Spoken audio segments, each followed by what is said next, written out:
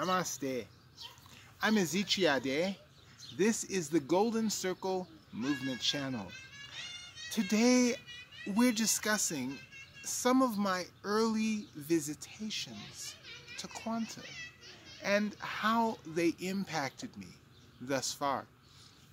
So, if you're into light worker strategies, esoteric science, spirit science, make sure you subscribe, ring the all notification bell so you know when new videos are uploaded.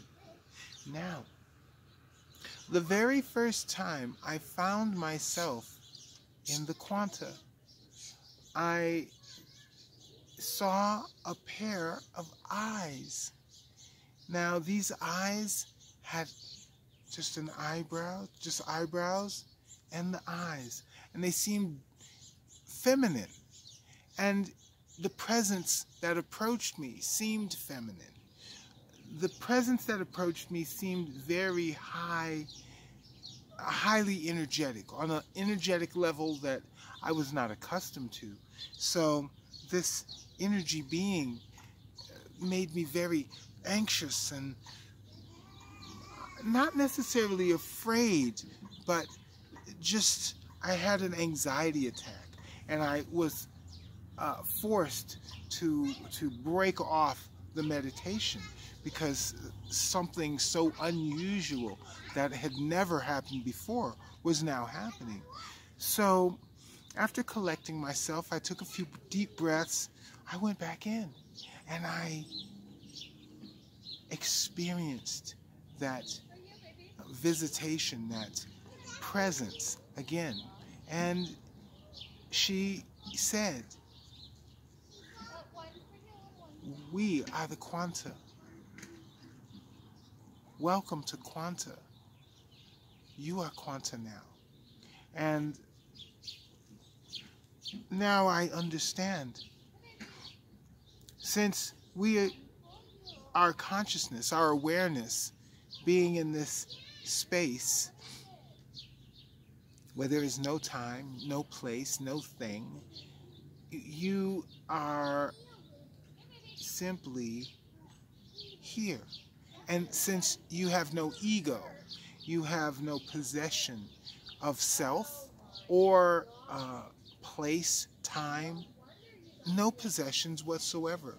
There are no planets, there are no stars, there is no universe inside quanta. So, all that is in quanta is quanta. If your awareness is in quanta, you are quanta. You are part of God. You are God. God is the quanta. The quanta is God. You are the quanta.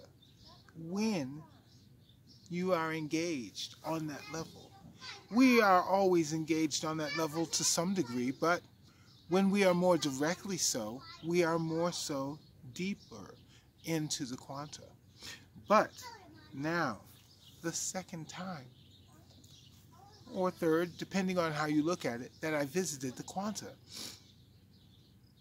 a male entity approached me, completely different, even had a different aroma, a different smell.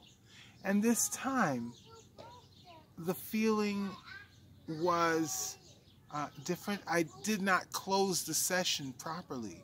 And because I was confused and didn't close the session properly, when I went about my normal day after, after uh, um, uh, encountering this second entity, I felt the presence of the entity with me throughout the day, as though he were with me, just observing my life, my existence.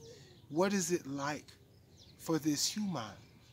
Now, the thing about it is I lost a day, 24 hours of time in that exchange of going to Quanta, coming out of it improperly, and going about my day thinking that, oh, well, you know, I should be able to just continue on and maybe sometime later on jump back in and figure out what was going on.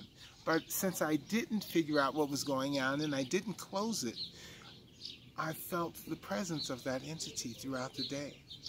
Now, it wasn't bad, wasn't necessarily good either, but the fact that I was uh, off by one day made me consider time and space. Not only manifestation of uh, objects or, or conditions or whatever it is that we desire, but in the course of changing this reality, you may change time. And it may come to pass that the time that was so awful may not have occurred. So, this is something that we must really consider when we when we are manifesting manifesting uh, new conditions for ourselves. If this is something that you understand, type law of attraction in the comments. Now, we're going to discuss more of my um, visits to Quanta and what those results were. But for now, just realize that there is so much more to the quantum realm than most of us have ever considered and that we even know. So make sure you subscribe, ring the all notification bell so you know when new videos are uploaded. And like and share this video. It will help us with the YouTube algorithm. Now, if you want to acquire Quantum orgonite, use the link in the description. And if you want to reach me on social media, use those links as well. Thank you for your participation. Namaste.